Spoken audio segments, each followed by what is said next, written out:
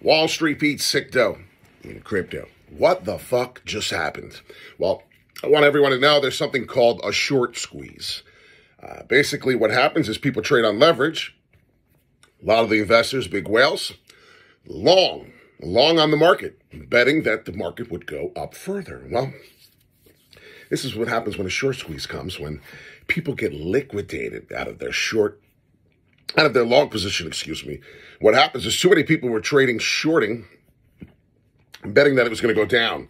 Well, what happened? Well, everyone got liquidated out of their long positions, causing a massive fall drop, looking like a manipulation. So, just letting everyone know, catching you up to date as my dog comes in and just barrels his way in. He probably just wants to say good morning to me, and I ain't mad at him for it. Good morning, buddy. He wants to give me a hug. Good morning. Guess what? The market's falling. Everybody wants to know what's going on.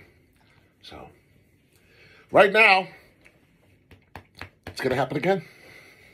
I know what to tell you. It's going to keep happening. So, get used to it. Uh, this is part of the bull market. I don't know if you guys remember every Sunday, every single Sunday during the last bull run, and this was a while ago. It was short Sunday. Get your shorts on. When Sunday comes, get your shorts on, guys. So I'm just giving everybody a quick update before we go live this morning talking about technical analysis. Um, I was in the middle of shorting judo at the time, and I didn't get in on a position yet. I seen it falling, dropping, and I looked, and I, I thought, honestly thought it was a glitch, and uh, kept going down so far. I was like, I have to get in. I hit the button. I was sitting right here at this exact spot on my computer. I hit the button. I shorted, and I made 300% in a matter of seconds.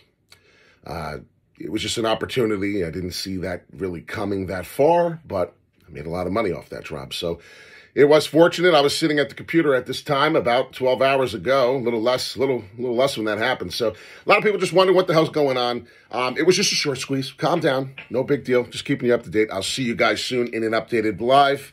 You have a wonderful morning. It is Monday. Put on a good song. Get yourself in a better attitude if you're feeling those Monday blues. I get it. And if you're an Eagles fan, well, you might as well just go to fuck back to bed. Have a great day, guys.